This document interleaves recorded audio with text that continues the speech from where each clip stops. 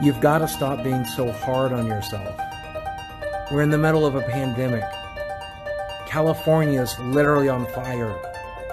If you make it through the day, you're winning. Don't forget that.